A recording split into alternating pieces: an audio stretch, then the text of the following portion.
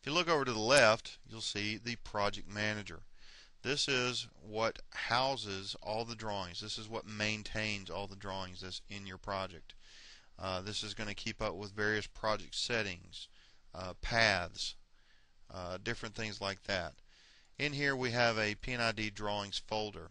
You can create a, a, folder structure any way you want to, any hierarchy that you want to create here. Uh, you're not restricted in, in that manner. Um, in here we just went with the default. We have P&ID drawings. We also have Plant 3D drawings.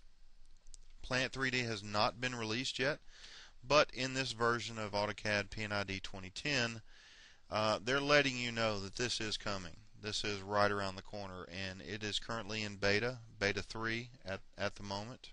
Uh, at the moment of this of this webcast recording, um, and it will be soon to release. So, be looking for Plant 3D um, from Autodesk.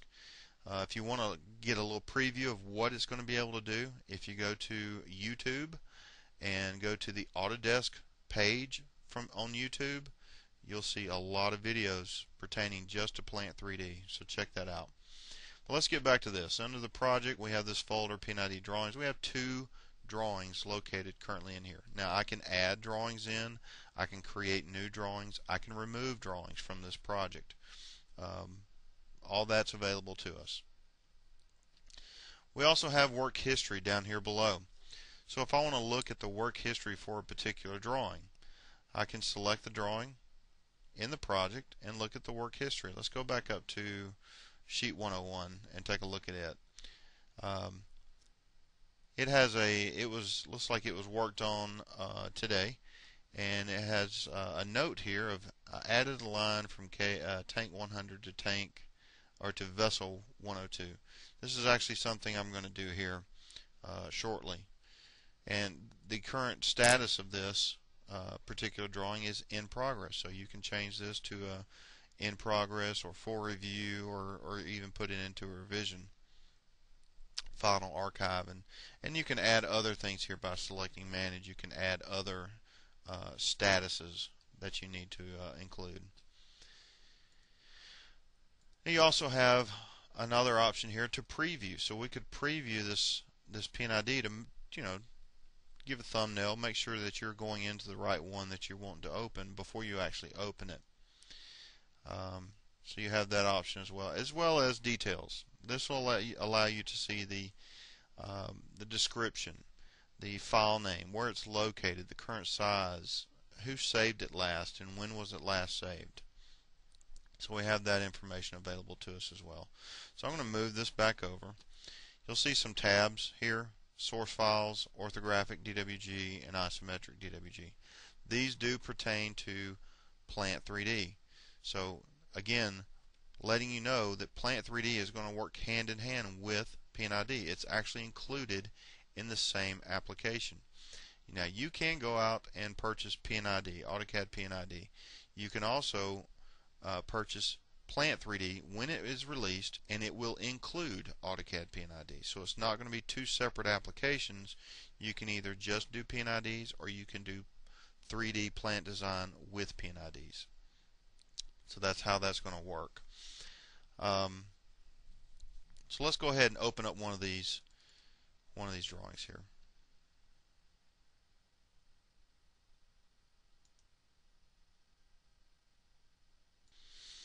Alright, we've got one of the drawings open, sheet 101, and we'll take a look at what we've got here. You can see how the layering, uh, the, the layering scheme is set up. If you don't like these colors, you can certainly change this. AutoCAD P&ID is very customizable. You can change your layers from green to uh, if you want your equipment to be a different layer, your your primary lines to be a different layer. It's totally up to you how you want to set this up. Um, so just keep that in mind. Just don't assume that what you see here is what you get. Uh, this is the default settings, but it's very customizable. Alright, what I want to do is we'll just take a look at how easy it is to place items from the tool palette. Um, obviously when you're creating a P&ID you're you're going to be drawing process lines you're going to be going from equipment to equipment or equipment to other lines well that's what we want to do here is we want to draw in a process line or a primary line segment coming from tank 100 So if we scroll down a little bit, you'll see this is TK100. And I'm going to have this line come in. It found the edge of the tank, so it knows I'm attaching to a tank at this point. Uh, after I finish placing the line, you're going to see a nozzle that's going to show up at this point, and that's automatic. That nozzle comes in automatically, saving you time and effort, uh, keeping you from uh, slowing you down with having to deal with other items.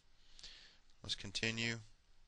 We'll pick the location for this line to go through. And if we look, you can see how I'm going to be crossing over these lines. P&ID does an excellent job of, again, time-saving techniques in that when we place this line in, you'll see what it does to the other lines. This line is now on top.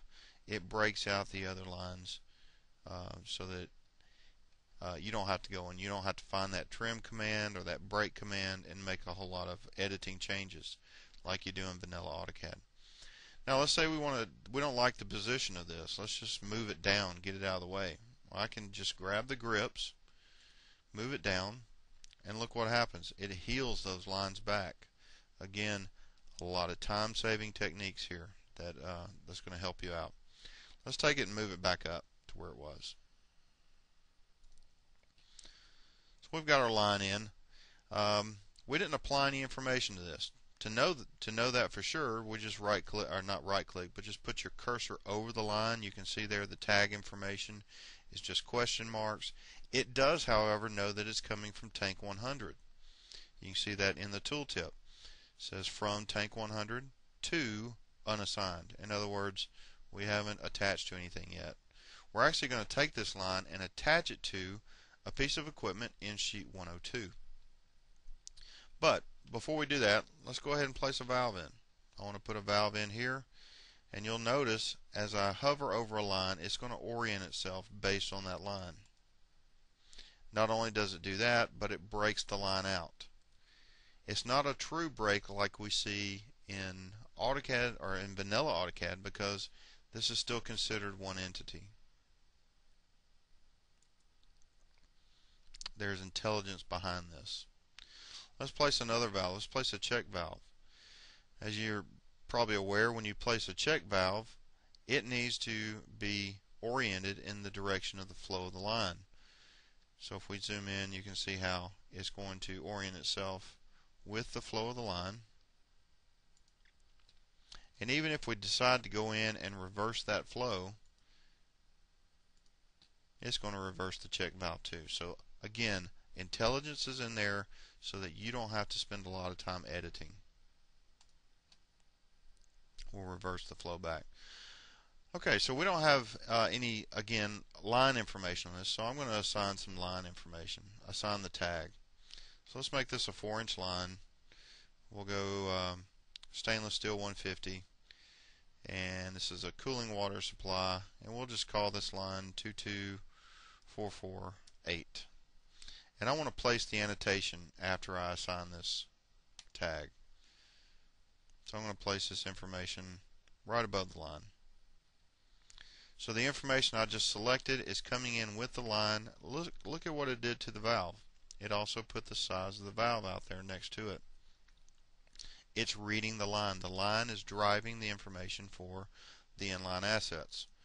So if I right click and we'll go assign tag and we may change this to a uh, to a 3 inch instead of a 4 inch. I don't need to place another annotation. I just needed to update the line. There's a 3 inch. It also changes the valves to 3.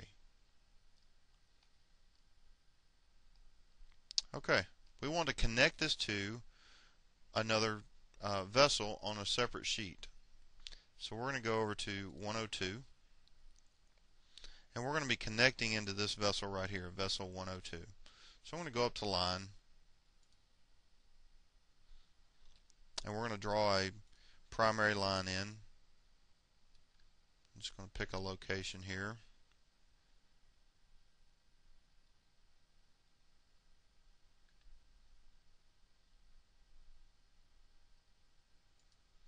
And we'll come straight down into the vessel.